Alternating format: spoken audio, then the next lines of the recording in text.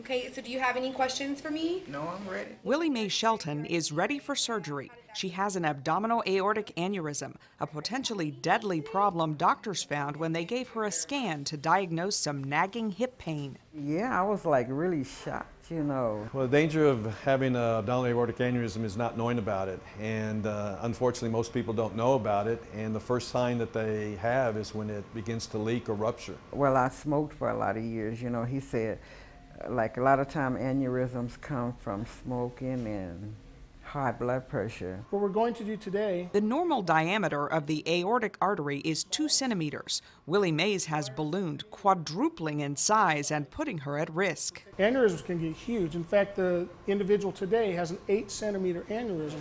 Table up uh, all the way. At Baptist Medical Center in San Antonio, Willie Mae is having her aneurysm repaired in a procedure called an endograft. It's an excellent operation. It's probably our best operation. She's in good hands. Once we do it and the patient gets through it, it lasts forever. Her doctors are part of Peripheral Vascular Associates, the largest group of board certified vascular surgeons in Texas. Slowly opening up.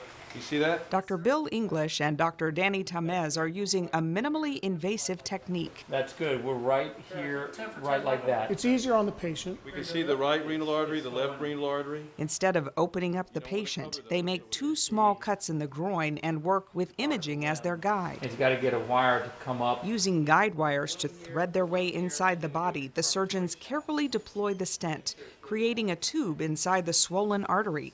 At times, it's a tedious task to get all of the parts in place. When the operation is complete, the abdominal aortic aneurysm is cured. The stent graft acts like a vessel within a vessel, conducting blood flow to the legs while sealing off the dangerous aneurysm. The endograft approach saves time. The surgery is shorter than the open procedure, and the patient's hospital stay is shorter too. The procedure can take an hour, an hour and a half, and most patients are gone in one to two days.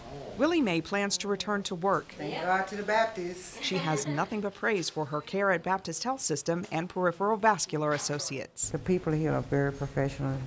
Timely detection and repair of abdominal aortic aneurysms is crucial since a rupture can have catastrophic consequences. The physicians at PVA say this technique is a good option for many patients. Minimally invasive vascular surgery with maximum results. That's the difference. That's Baptist care. For more information, log on to bhsvascular.com or call 297 7005. For the Baptist Health News Network, I'm Wendy Rigby.